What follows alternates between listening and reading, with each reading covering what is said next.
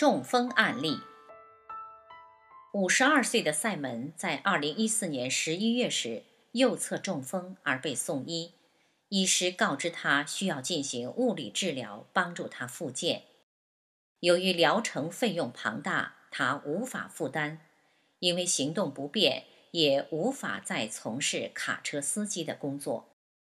二零一四年十二月，因为无法行走，而由他的妻子推着推车带他去接受原始点调理。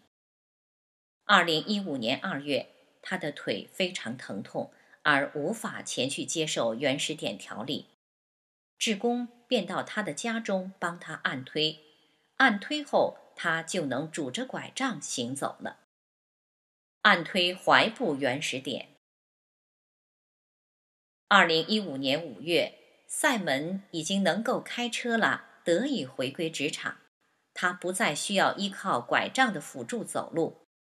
塞门鼓励其他的病患一定要坚强，也告诉所有人原始点改善了他的人生。他也祝愿所有的病患能让生活重新回归正轨。后续探访。